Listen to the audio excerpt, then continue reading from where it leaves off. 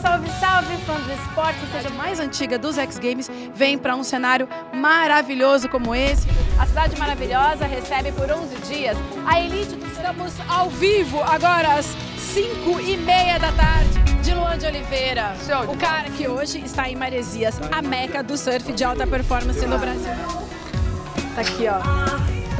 Aí, tipo, ela deu um passo, não, eu falei, mãe, já tô descendo. Ela, eu quero cinco minutos você lá embaixo. Da neve, fã de X Games.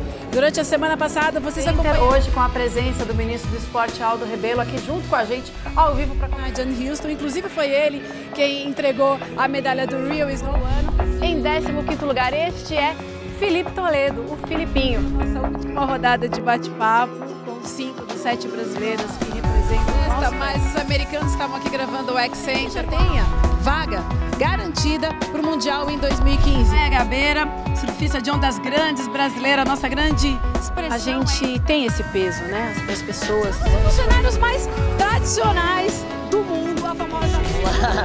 Muito bem, Luan. E você joga bola com frequência? Parabéns, Pedrinho. Estamos ao vivo no X Center.